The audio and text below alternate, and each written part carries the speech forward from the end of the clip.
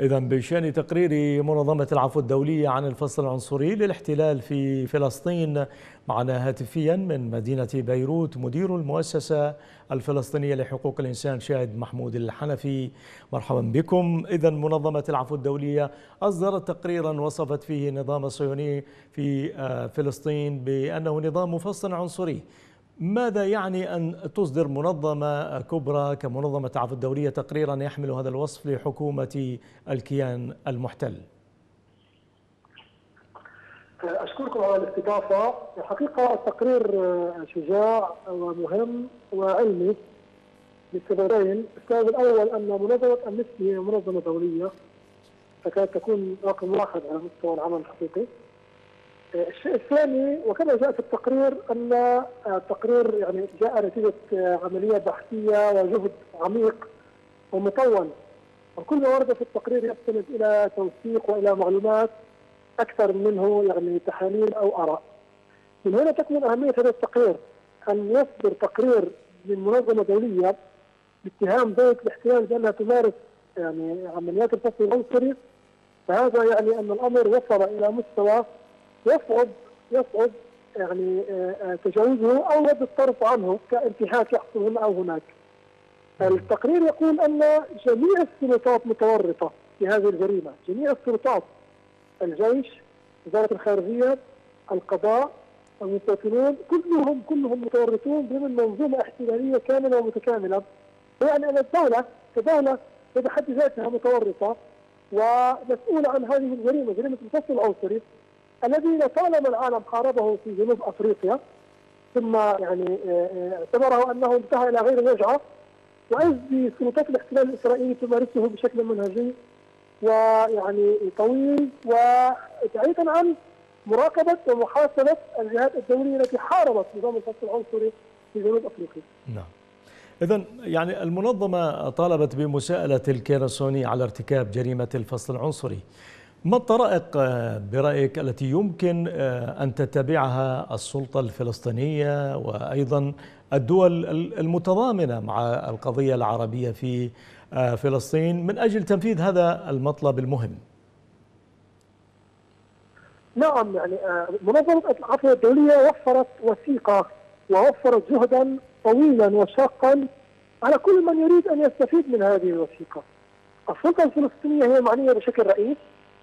بإعمال يعني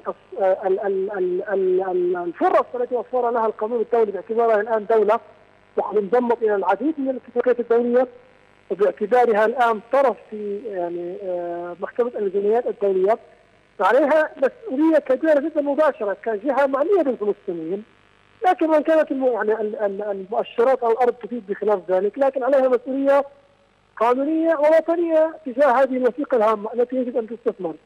اثنين اثنين هذه الوثيقة تشكل يعني أرضية مهمة جدا ليس فقط السلطة الفلسطينية هذا إن أخذت قرار بذلك بل للمنظمات الحقوقية الصديقة للشعب الفلسطيني الصديقة للحق الفلسطيني من خلال الاستفادة منها أمام محاكم دولية ذات اختصاص عالمي في أوروبا على وجه الخصوص.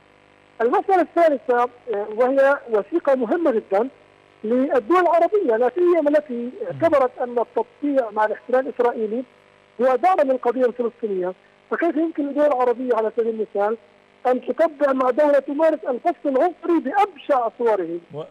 هنا السؤال يعني. الاستفاده من هذه المسألة. يعني بخصوص الوضع العربي عفوا. يعني كما تفضلتم بذكره هل تعتقد أن الوضع العربي في في ظل لنقل حالة الهرولة نحو التطبيع مع هذا الكيان يمكن يعني أن تدعم هذا الطلب؟ نعم يعني صديقي الكريم موضوع يعني الجرائم التي تمارسها دولة الاحتلال الإسرائيلي على الأرض أمر محرج.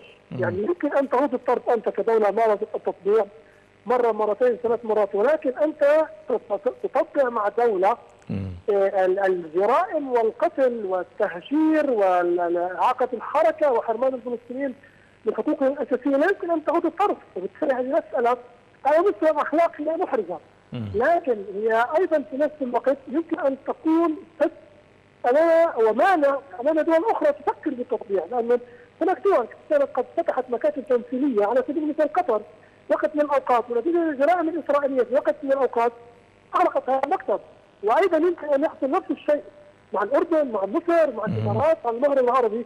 لأن الدم الفلسطيني والحق الفلسطيني هو الذي يعني يغلب على التفكير العربي كشعوب وعلى وعلى دولنا العربية ولا يمكن الدول العربية التي طبعت إلا أن تتراجع عن هذه الخطوة إذا عاجلا أم اجلا.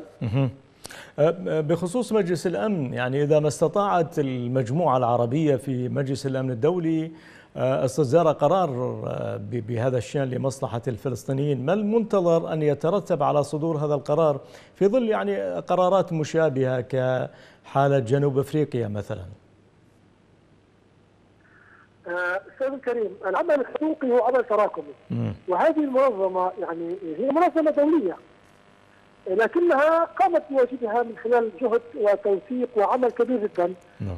الآن الأمم المتحدة يعني آه ومجلس الامن على وجه الخصوص أنا شخصيا لا أستطيع القول إنه مجلس الأمن يمكن أن يصدر قرار لا بموجب الفصل السادس ولا حتى السابع ولا حتى يصدر بيان رئاسي لأن هناك جرائم كثيرة بعينها حصلت وكان يختلف أعضاء مجلس الأمن على إصدار حتى بيان رئاسي. الآن يمكن أن تحال هذه القضية أو تدرج على جدول اعمال الجمعية العامة للأمم المتحدة التي تضم 193 دوله. هذه القضية بإطار يعني تخرج من إطار الشرق الاوسط إلى إلى الإطار العالمي لأن هناك الجمعية العامة للأمم المتحدة تمثل جميع العالم وتمثل 193 دولة. لا يمكن أن يتدخل فيتو هنا أو هناك. وبالتالي يمكن نعم من الدول العربيه سواء رئيس يعني رئيسه المجموعة العربية أو الدول الإسلامية أو حتى دول أحد يطلع على جدول اعمال الجمعية العامة. وأنا متأكد نعم. أنها إذا طرحت هذه الوثيقة على جدول الجمعية العامة أن تشكل يعني سند قوي للحق الفلسطيني وإحراج كبير لدولة احتلال إسرائيل. اذا شكرا جزيلا لك من بيروت مدير المؤسسة الفلسطينية لحقوق الإنسان شاهد محمود الحنفي.